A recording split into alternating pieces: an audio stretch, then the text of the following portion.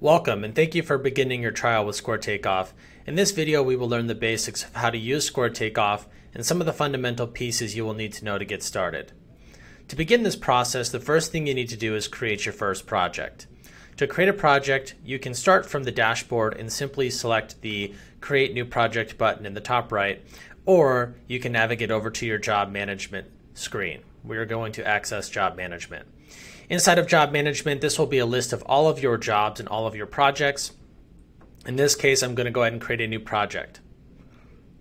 So we will select create new project. You're going to fill out all of the relevant information you need to get started, such as the company name, owner, and the project name. You'll see there's more information you can collect on your project. This is really just for reference and collecting some of the project details and notes. To begin your first takeoff, you'll simply just select Save once you've filled out all of the appropriate information on this project. This next screen is going to ask you to begin with a set of plans. Uh, there are actually three ways you can begin this takeoff. You can either upload a full set of plans by browsing your computer and uploading them here. You can also select Google Maps and you can use blank pages. In this case, I'm going to go ahead and grab a set of plans from my computer and I'm simply just going to click and drag them over in bulk just like that. Now that my plans have successfully loaded, I'm going to select continue, and that is going to open up my project. Now on this project, on the left-hand side is a list of all of my pages. This will reflect the pages of the plan that you uploaded.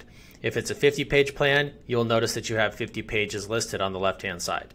If you think you're missing a couple of pages, simply just hit this little refresh wheel and you'll see any pages that have been processing in the background.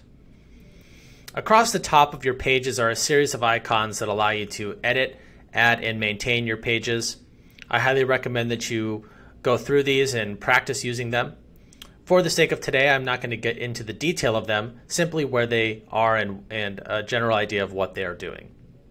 The next step here is learning the basic navigation of Takeoff. This is something that may be unfamiliar to you depending on your background and how if you have used Takeoff software in the past. I'm going to go ahead and access a page and talk a little bit about navigating this screen. The key here is wherever your cursor is, when you zoom in, it is going to zoom into that point of your cursor. Okay? The trick is right click and drag. So when you right click and drag, it is going to pan the screen for you. Okay? So you're going to find yourself doing a lot of right click and drag, zooming in and zooming out throughout your takeoff experience. The left click of your mouse is how you're going to engage measurements. It's how you're going to, let's say, set your scale. It's how you're going to add notes and actually manipulate the plan. The right click and drag is the thing that throws a lot of people off. Now, to begin your first takeoff, the first step is you have to scale your plans. There's really two ways to scale your plan. I'm going to go ahead and zoom in down here in the bottom of this plan. You can use either the page scale or you can use the manual scale. Both have their own advantages. The what I would say is that the manual scale is likely going to be the most accurate option for you. However, it does take a little bit more time to complete. I'm going to go ahead and demonstrate how to manually scale your plan, but you can always use the page scale if you feel confident in that page scale. To manually scale your plan, you'll simply just go up here to the scale button in the top of your screen. First, you will select the measurement type, whether you are imperial or metric. We do have capabilities that allow metric users and metric measurements. We also have an entire starter package made in metric. Next is our set scale. We're going to set that manually, and we are simply going to type in 86 feet, 10 inches. So what I'm doing is I'm going to trace over the top of this 86 foot 10 inch line. The longer the measurement that you're scaling to, the more accurate the scale is going to be. So again, I'm going to choose that 86 foot 10 inch line. To begin your scale, you will simply just select Start, and the idea is you will left click at the beginning of that scale line and left click at the end of the scale line. So I'll simply scroll in, zoom in, left click to start, right click and drag, and left click to end it.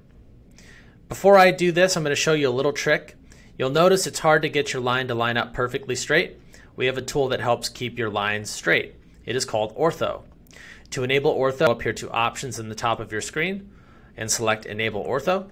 You can do this at the time of a measurement or before a measurement. And notice now it keeps that line nice and straight and crisp, if you will. We will simply left click to finish that scale line.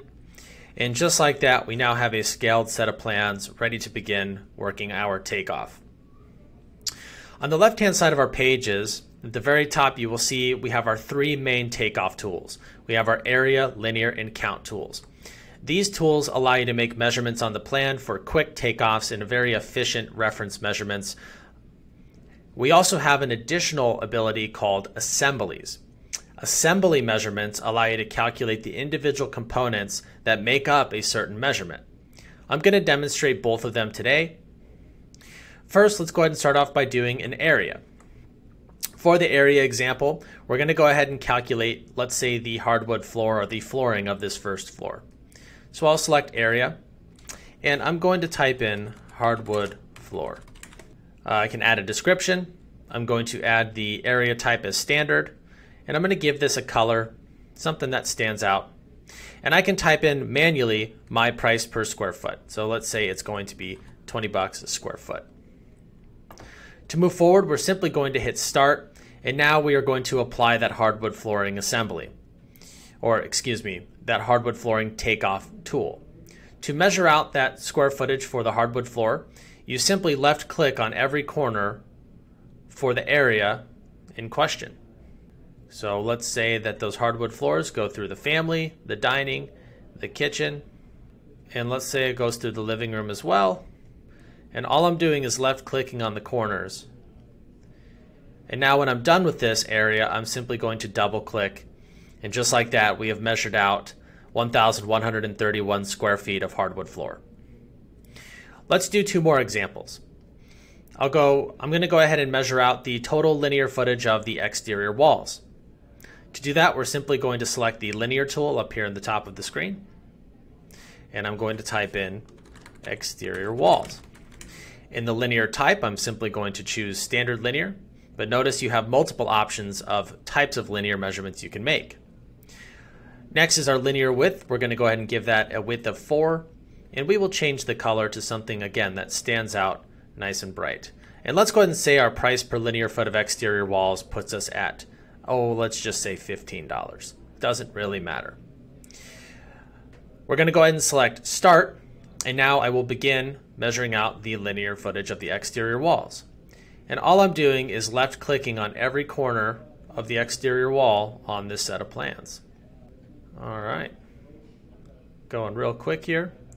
And let's just go ahead and stop it right here. Now you would typically go through the rest of your exterior wall measurements. Now notice we're looking at 203.14 linear feet. Now again, these are simply just the basic measurements, about 1100 square feet of floor and 203 linear feet of exterior walls, which works for a lot of cases. However, if you would like to know the components that make up those different measurements, we are going to use these things called assemblies. Assemblies is where a lot of value lives here in Square Takeoff. To access your assemblies, you will simply select this templates library or templates right next to your pages list. Inside of here, you're going to see a series of templates. These templates are a storage place of assemblies you will be defaulted with the Square Takeoff Starter Package, Square Takeoff Metric Starter Package, and the basic measurements. Today's example, we are going to access Square Takeoff Starter Package, and we will run a sample assembly to give you an idea of what these can do for you. To begin this process, I'm simply going to open up the Square Takeoff Starter Package, and I'm going to measure out the interior framed walls. So I'm going to figure out the framing for all of my interior walls. Now, I will tell you that inside of the Square Takeoff Starter Package, you're looking at a series of folders. These folders are here to organize your assemblies and make it easy for you to find the assemblies that you need. In this case, I'm simply going to access the relevant folder for what I'm looking for. In this case, I'm looking for uh, my interior walls. So I'm going to access the framing starter package here. I'm going to access the interior wall framing. I'm going to access the 2x4 interior wall framing because that's what material we need for this plan. And then finally, I need to make a decision on which type of wall I'm putting in. You'll notice you're looking at an assembly in this menu when you see this little icon on the left hand side and this little play button. That icon tells you whether it's a linear, area, or count assembly. So now I have to pick the height of the walls I'm doing for this 8, 9, 10, 12, 14, or 16. On this plan, this plan calls for 10 foot interior walls, so I'm going to go ahead and apply that. I'm simply going to hit the play button on that 10 foot 2x4 interior wall and select start. The key difference between a takeoff measurement and an assembly measurement is that a, an assembly is made up of what are called parts. And parts calculate the material quantities based on the linear footage drawn on the plan in this case. There is an endless possibility to the type of parts that you can add inside of your assemblies, and there's so much that you can customize and do with it to meet the needs of your company. However, you do have a nice starting place with the starter package provided to you. Inside of these parts, you'll notice you have these things called properties.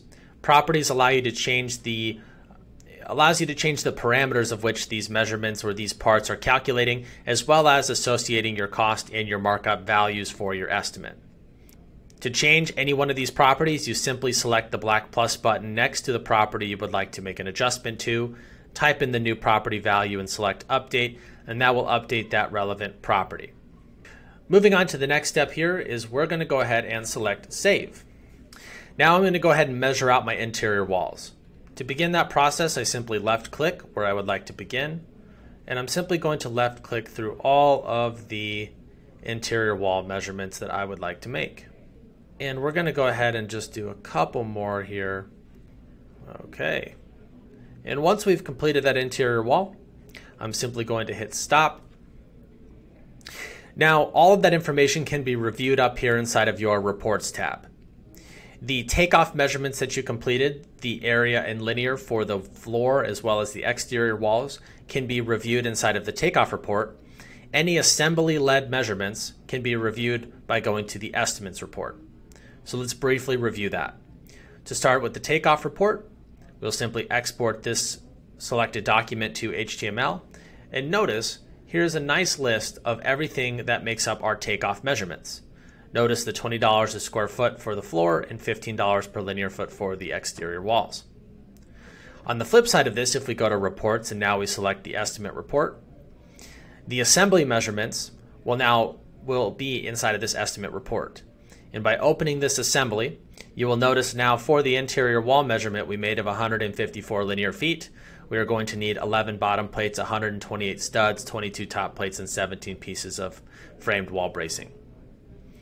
That's really what you need to know to get started. Please spend some time making your measurements, getting familiar with the starter package, and think about opportunities for you to customize your assemblies and parts and make this system work for you and your company.